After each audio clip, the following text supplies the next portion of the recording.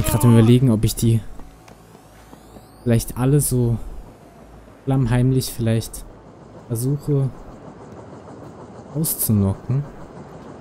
Könnte aber schwierig werden. Weil da unten ist noch mehr Personal. Nicht nur Sicherheitspersonal.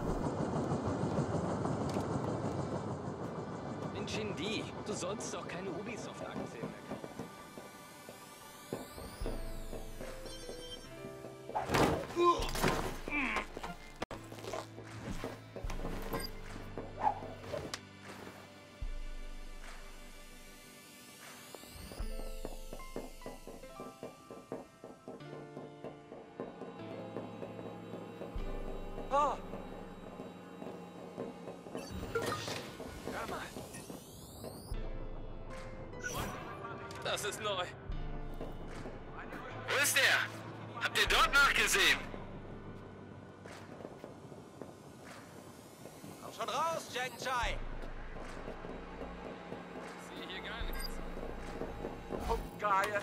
Und aber auch nicht weiter. Gebt auf, er ist weg. Shit, seht ihr Leute, wie viel Personal hier ist?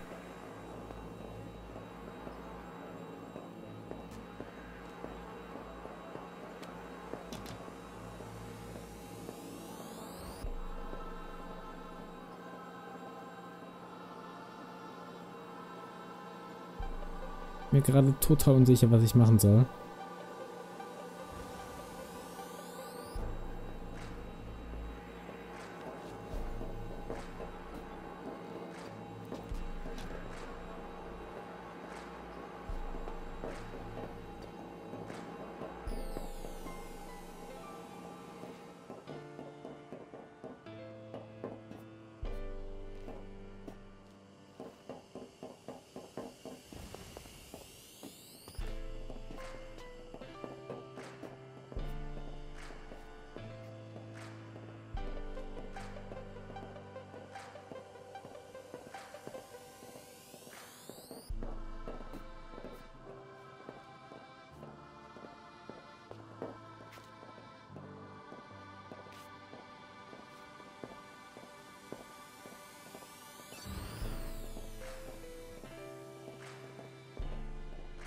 Shit, shit, shit, shit, shit. Mache ich das?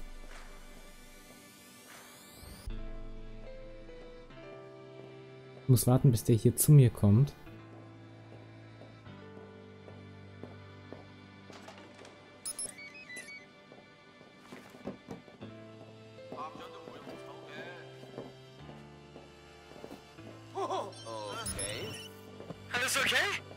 話？Was? Einen weiteren sind wir los. Sache ist, ich glaube nicht, dass wir so ansatzweise auch nur das ganze Boot gesäubert bekommen.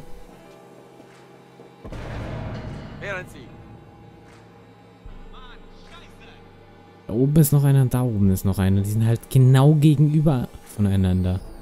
Es ist fast unmöglich, den einen zu bekommen, ohne vom anderen gesehen zu werden.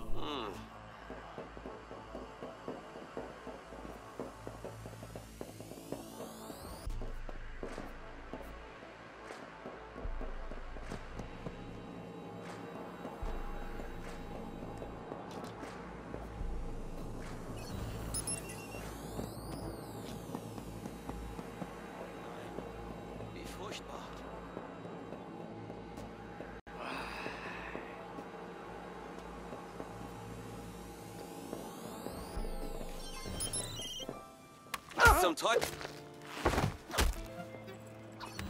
Oh nein.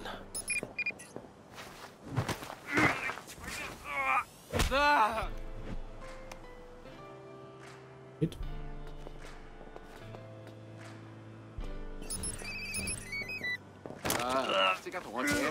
Sicherheitsrisiko.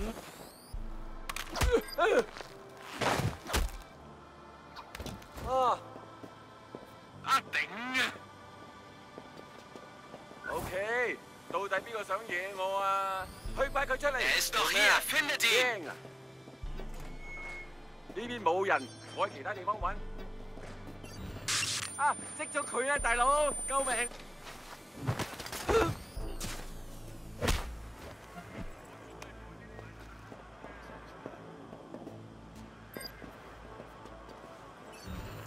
啊，fuck，scheiss hardware！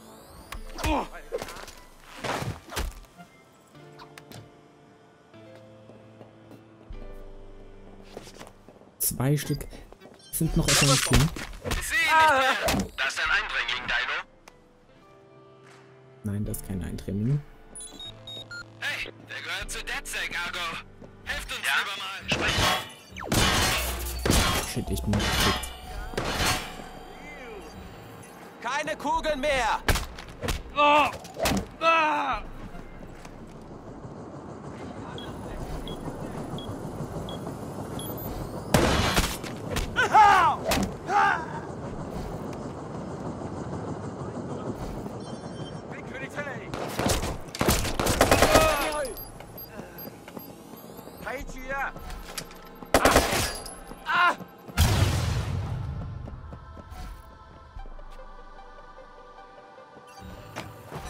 Wer hatte diesen scheiß Key?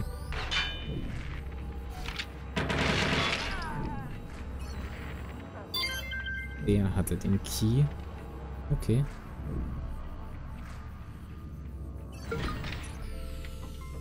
Oh. Der ist ein Stock unten drunter. Ja gut, nicht zwei.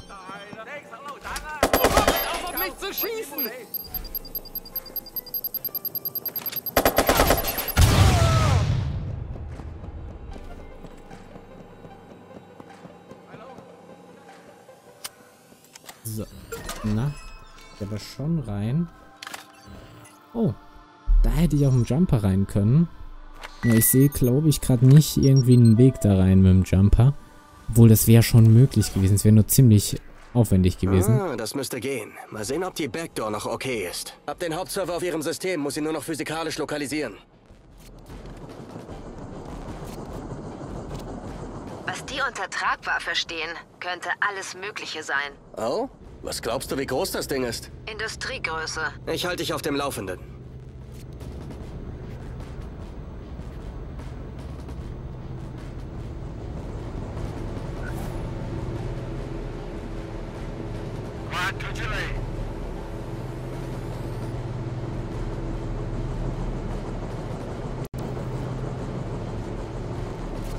Sorry, dass ich gerade ziemlich wenig Ich hab den Server. Wie genau kriege ich das Ding jetzt von etwas Bord? Die Aufwand. Pläne, die du gefunden hast, zeigen einen Aufzugsschacht. Da steht, das ist ein Riesending mit. Halt den Mund! Ich rede von diesem Aufzugsschacht. Schon verstanden. Schaff den Server auf Deck und wir kümmern uns um den Rest. Woll- Ihr wollt mich jetzt verarschen. Ihr, ihr wollt mich jetzt verarschen. Also, ihr, ihr wollt mich jetzt schon verarschen, oder? Muss das fette Teil jetzt nicht wirklich irgendwo hier hochbringen.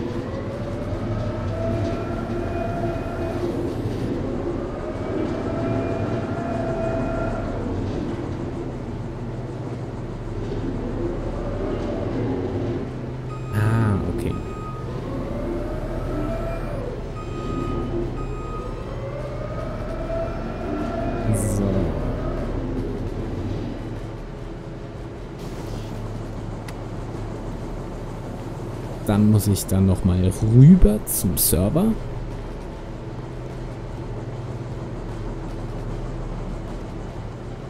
Und dann fahren Günther, so habe ich den Server gerade benannt, und ich jetzt mal ein bisschen Aufzug.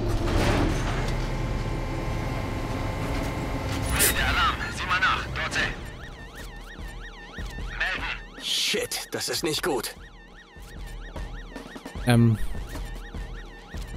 Ha- Hallo? Was ist der Plan? Ich bin fast da. Josh, was soll denn das? Schau mal.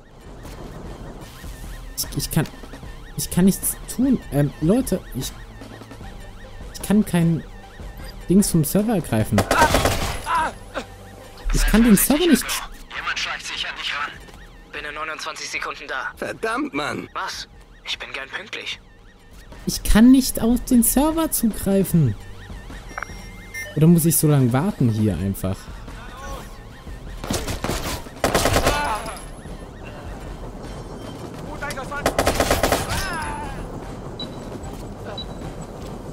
Wo bist du? Du müsstest mich jetzt eigentlich sehen. Nach was muss ich suchen?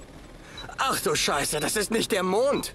Ist das deine Drohne? Überraschung. Extra für uns umgebaut. Du holst das Teil noch ab. Hi. Hi. Ja, genau. Fuck! Oh Gott! Oh Scheiße! Mit dem Schnell Gehirn runter. Oh Gott. Okay. Okay. Was? Fuck. Hey, Josh, Mann. Wie oft hast du das Ding schon geflogen? Erstes Mal. Wetten wir. Wissen Sie, Michel, wir sind froh, dass die Hacker endlich zur Rechenschaft gezogen wurden. Dies äh, zeigt deutlich einen Fehler im System. Von den Tiefseekabeln bis zur Spionage und Sabotage durch Gruppen wie DedSec. Ich sag Ihnen eins. Bloom arbeitet an einem Projekt, das dieses Problem eliminiert. Der Pisser hat den Hackern Bellwether Zugang gewährt, damit sie es testen. Dann hat er den Angriff als Schwachstelle der Tiefseekabel dargestellt. Der Arsch hat's echt drauf. Jetzt melden sich mehr Firmen für Blooms Satellitenpipeline an. Dann feuern wir jetzt aus vollen Rohren auf Duschan. Okay, wir lassen ihn öffentlich aufhängen wie den scheiß Mussolini. Das ist doch keine Lösung, Mann. Auf unseren Ärschen sitzen auch nicht, Aber wir okay? sitzen nicht auf Mach unseren Ärschen. Das, worum ich bitte, still. Mann! Er ködert uns. Glaube ich. Er versucht ein letztes Mal, uns in den Dreck zu ziehen, als Gefahr. Und wir sind eine Gefahr. Wir waren uns doch alle einig, nach unseren eigenen Regeln zu spielen, oder nicht? Gut. Wir haben fast alles zusammen, um ihm zu schaden. Dauerhaft. Gehen wir alle wieder an die Arbeit. Und bringen wir die Sache zu Ende. Gute Idee. Bin sofort dabei. Alles klar. Und stell deine Schüssel Müsli oder äh, keine Ahnung, was das war, oder gesalzene Erdnüsse, keine Ahnung. Einfach bitte mal weg. Ray, bitte. So, jetzt schauen wir. Oh, ich kann was forschen. Ach so, aber. Oh, doch, ich kann was Neues forschen, was ich forschen will. 22 Forschung. Holy fuck.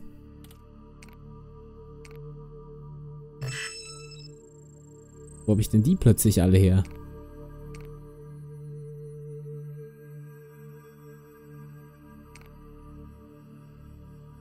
Ich weiß nicht, ob ich das brauche. Es kann schon Vorteile haben. Oder ich mache halt sowas.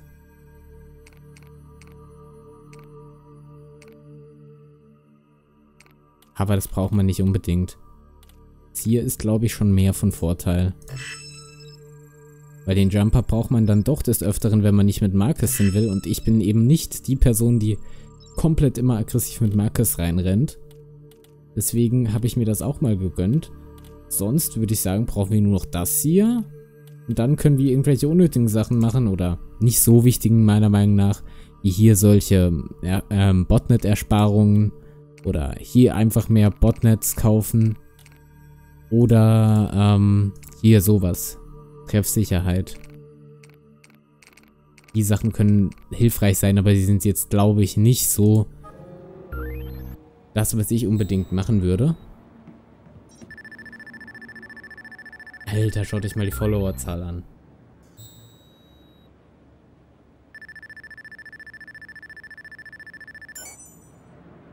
Das ist Musik in meinen Ohren. So, ich würde sagen, wir schauen uns trotzdem mal hier um, ob es hier irgendwelche Missionen noch gibt. Das hier ist die Mission Roboterkrieg. Weil hier scheint dann anscheinend noch eine Mission zu sein. Vermutlich die hier. Ja, sprich mit Citara im Hackerspace.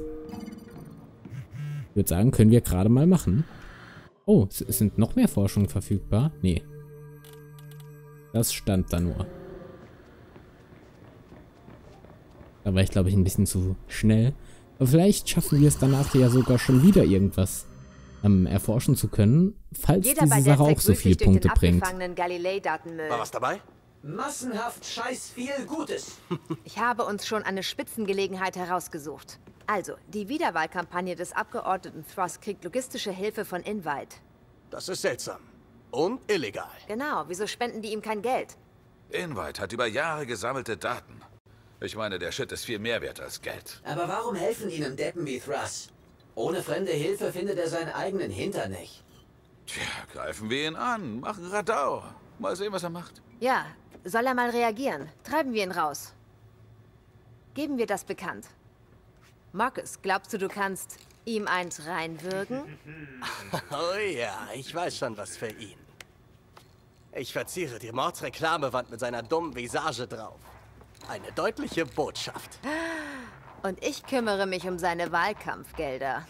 Und ich werde ihn in den sozialen Medien blamieren. Und ich demoliere auch gleich seine Website. Und ich mache auf seine Online-Werbung Platz. Ich gehe mir noch ein Bier holen.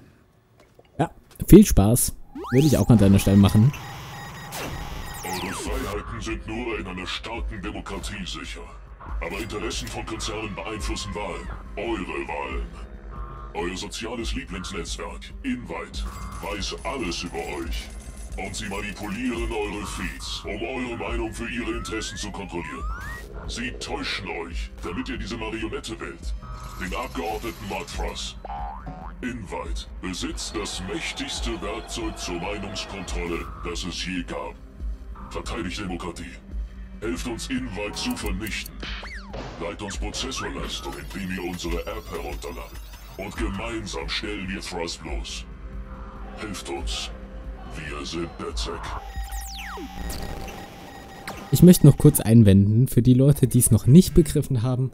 Truss ist Donald Trump und Invite ist Facebook. Und das ist jetzt kein Witz. Und das, obwohl das Spiel 2016 rausgekommen ist, sprich ein paar Monate bevor Donald Trump zum Präsident gewählt wurde. Und da das Spiel Ende 2016 rausgekommen ist, bedeutet das, diese Story war vielleicht schon ein Jahr vorher in Entwicklung, ist schon ein Jahr lang fertig gewesen, also hat man wirklich genau das, was ja nachgewiesenerweise wirklich passiert ist, hier vorausgeahnt. Und das ist schon ziemlich bitter und ziemlich lustig. Wo man jetzt sagen muss, es, es war irgendwie schon zu erwarten oder zu mit, mitzurechnen, aber es ist trotzdem cool, dass man das hier in so einem großen Titel eingefangen hat.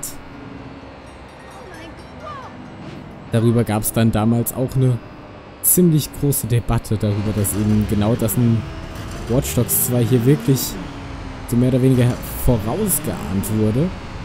Und ich finde es immer noch cool.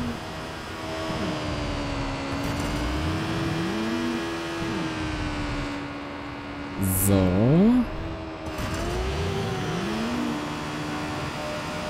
Wir beeilen uns mal noch ein bisschen. Shit. Ich will mich nur ungern umfahren lassen. Aber wir sind auch schon gleich da. Hoffentlich wurde Da keiner drüben verletzt. müssen wir hin. Na? Dafür müsste ich jetzt... Willst du wissen, was ich denke? Willst du wissen, was ich...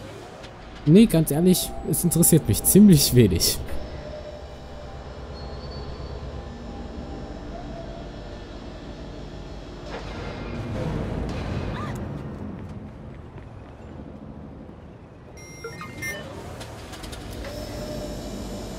So.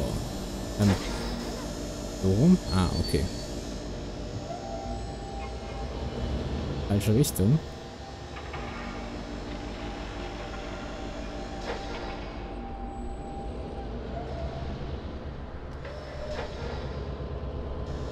Noch ein bisschen nach unten. Noch ein bisschen. Ja, ja, das sieht schon ziemlich gut. Ähm. Kran. Äh, wa- was? Äh, Leute, das habt ihr aber auch gerade schon gesehen.